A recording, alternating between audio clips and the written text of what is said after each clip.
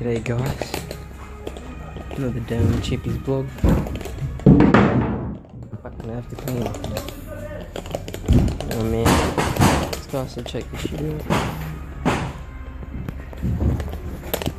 Fucking got tools here. There's rubbish here. Fucking I have to clean that up. It's going in the bin.